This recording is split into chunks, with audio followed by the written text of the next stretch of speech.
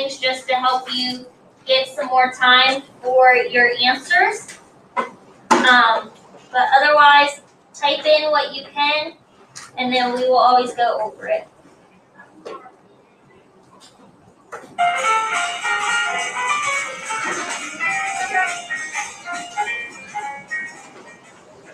Go ahead and think for a moment about your very favorite food.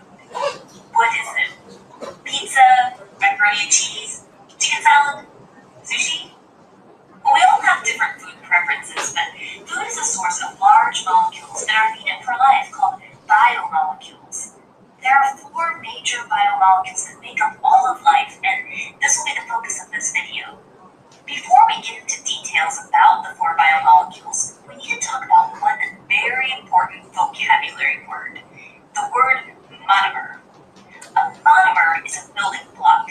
If I had some large substance, the parts that make up the substance are called monomers, just like building blocks. We're going to talk a lot about monomers today because we need to understand what the biomolecules are made of. And we need to understand biomolecules because they're building components of life.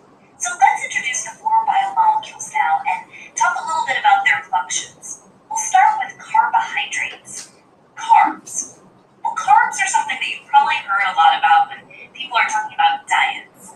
You know, they try to go low carb, or maybe they want a lot of carbs.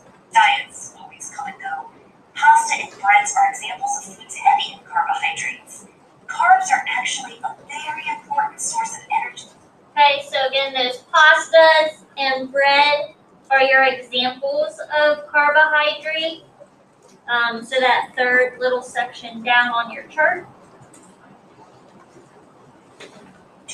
In fact, that's one big function of carbs. They are a great, fast source of energy. If you are a marathon runner, you might want to eat a lot of carbs the night before a race. Lots of marathon runners do this. It's called pasta loading. They eat a big pasta dinner the night before they go out on their marathon. Now, carbs have a monomer. Okay, so that what is it section then is that function of those biomolecules. So if you missed it, carbohydrates are considered a fast source of energy. So that's why those runners, um, they'll carb load because they're stocking up on all of that energy that it'll give them in that short amount of time.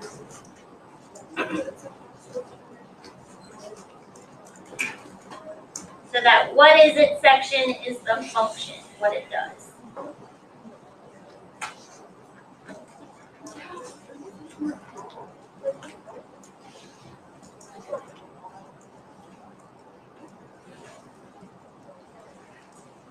Again, remember, monomers are building blocks. The monomer for a carb is a monosaccharide. I know that's a big Okay, so monosaccharide. I'll pause it here so you have the chance to write it. But this is what makes up a carb.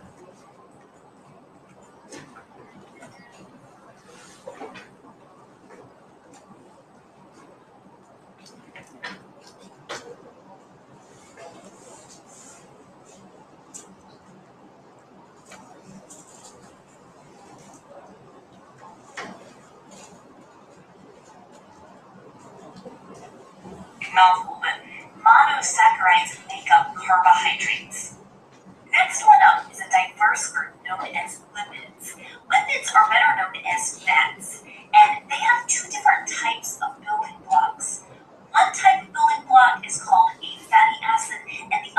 Is called a. Now, it's Okay.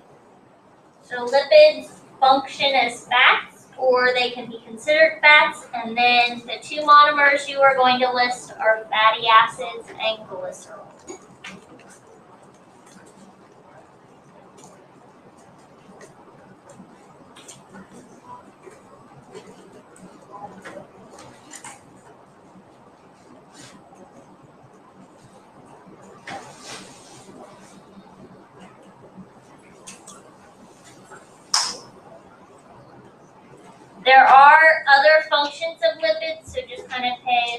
To the video and see if you can catch any more of them. Examples of lipids include butter, oil, and cholesterol. Lipids, though, they have a lot of great functions. You might think, well, that's fat. How good can that be? Well, it just depends when you put it in the context. For example, you know those really adorable seals that you see on calendars? They have this fluffy white hair. They're actually called a harp seal well, they only look like that when they're babies. When they get older, they're not quite as cute. In their little baby stage, they actually have a lot of this hair that they're born with that keeps them warm. But over time, they have to develop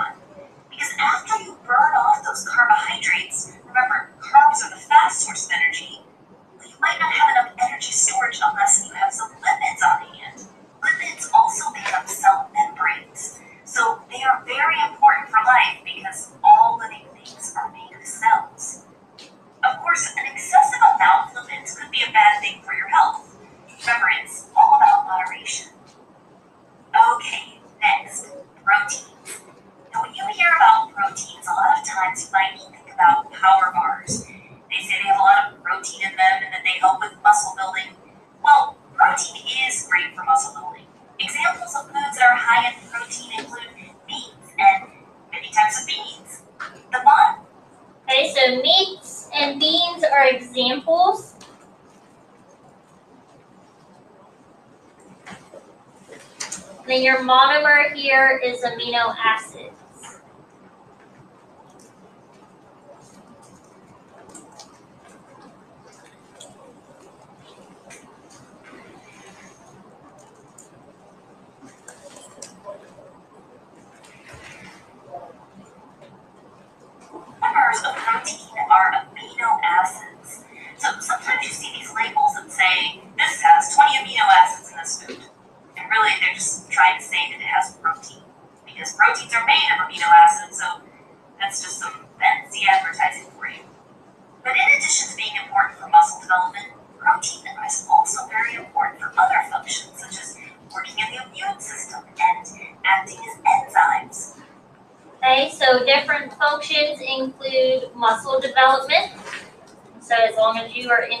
protein, your muscles are able to grow and develop.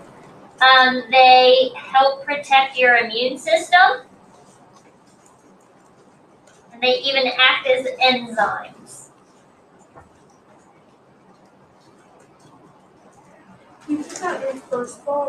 Yes. Yep, in the what is it box, that's where you would put the function.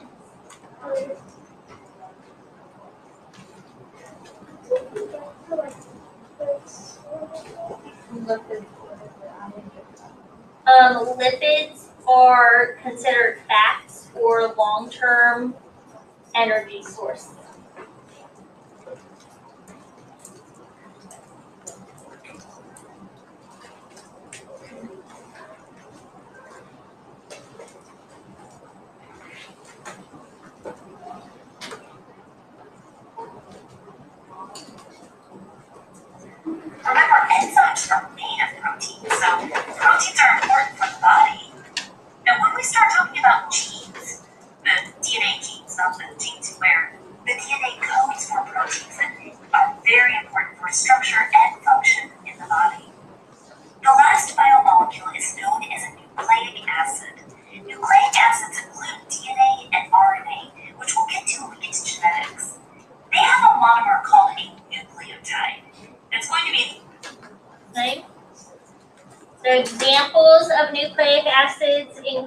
DNA and RNA.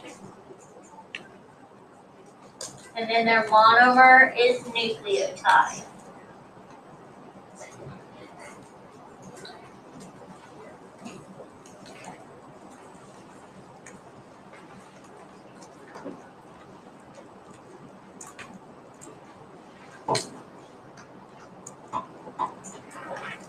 Does anybody by chance know what DNA stands for?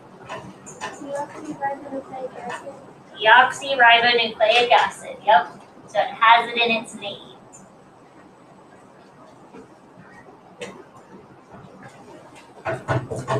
Easy one for you to remember because nucleotide sounds uh, like nucleic acid. And if considering DNA and RNA, both of these are involved in genetic information for the coding of your traits. They are found in a lot whenever you eat something that came from something once living, it can still contain the DNA. For example, when you eat a strawberry, you're actually consuming all the cells that make up that strawberry. And in the nucleus of all those strawberry cells is DNA.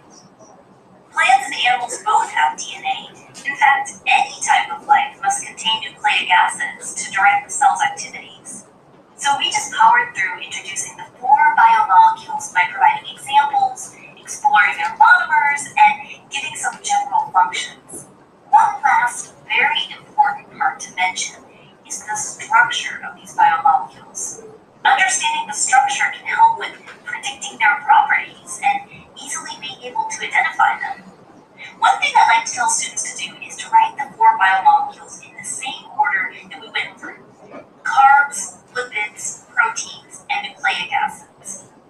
Then remember this mnemonic device that goes with these four biomolecules. Cho, cho, chom, chomp.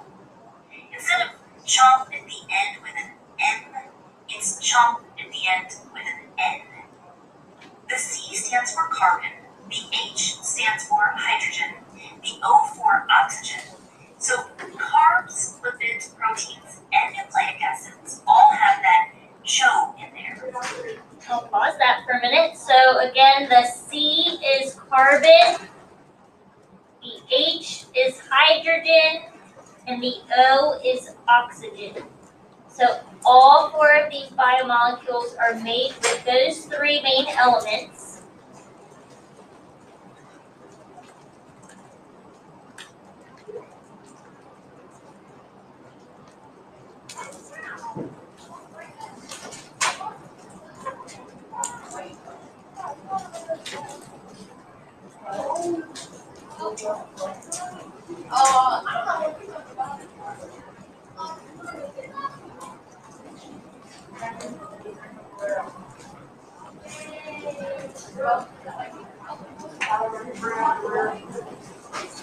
It's just that proteins and nucleic acids also have an N, which is nitrogen.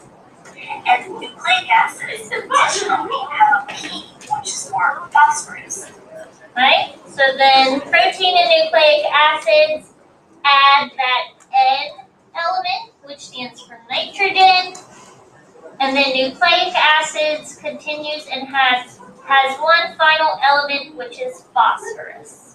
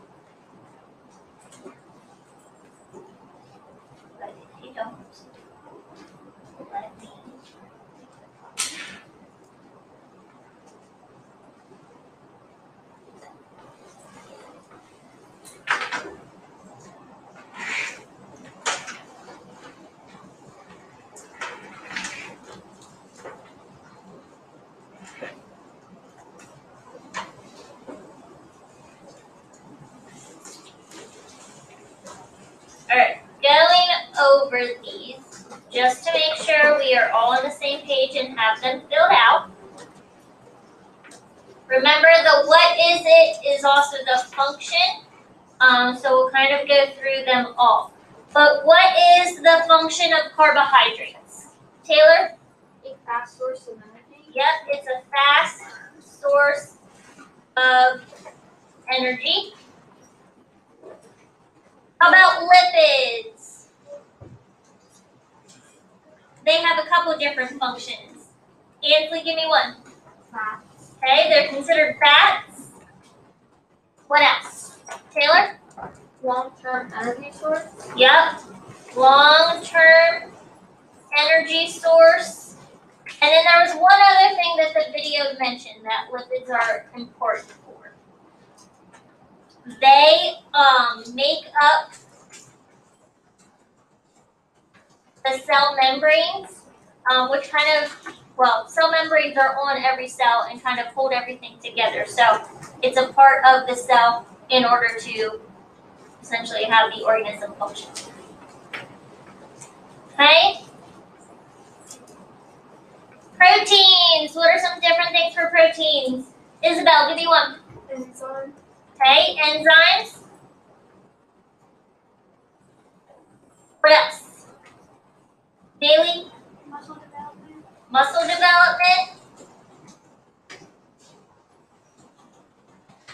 Bears, Like a PM and stuff. okay, helps immune system. And then there was one more. It's part of DNA genes. So that coding and your genetic code um, proteins are part of that as well. Okay, and then our nucleic acids. What is their function? Are they important? Taylor. Coding of traits. Yep, coding of your genetic traits.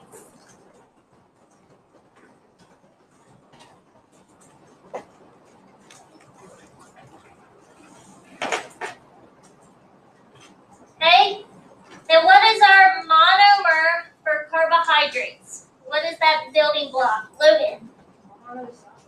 Monosaccharides. Monosaccharides, yep. Okay, how about for lipids? Daily? Fatty acids.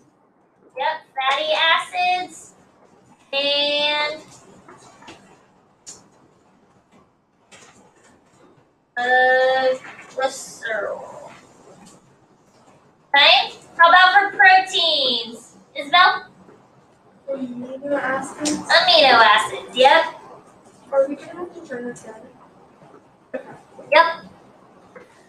And then nucleic acids, what are the building blocks for them? This is the one that sounds similar to it. Damaris? Nucleotide. Nucleotide, yep.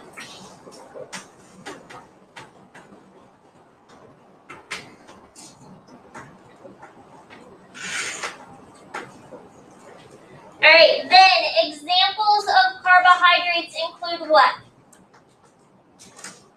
Um, Caleb. Pastas and bread. Yep, pasta and bread. Examples of lipids were what, Logan? Water, oil. Yep, butter, oil, and cholesterol.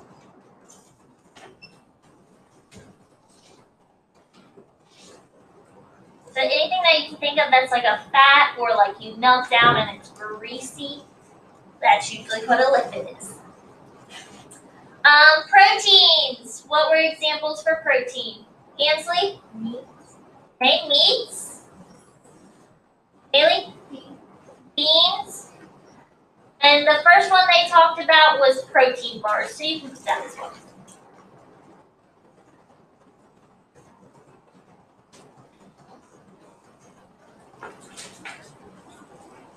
And then our two examples of nucleic acids are what, Kaylin? DNA. Yep, DNA and RNA. And then our final thing, the major elements that make up each of these biomolecules and their structure, what does the C stand for? Taylor? Carbon. Yep, carbon. I'm gonna take that and I'm gonna copy and paste it into everyone. What does the H stand for? Allie? Hydrogen. Hydrogen. And all of them have hydrogen. What does the O stand for? Logan? Oxygen. oxygen. Okay, so all of these biomolecules have those three main elements. Then proteins and nucleic acids have N, which is Janet, Nitrogen.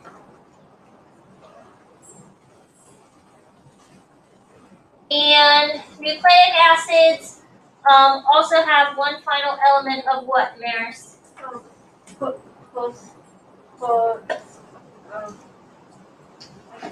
Phosphorus. Mm-hmm.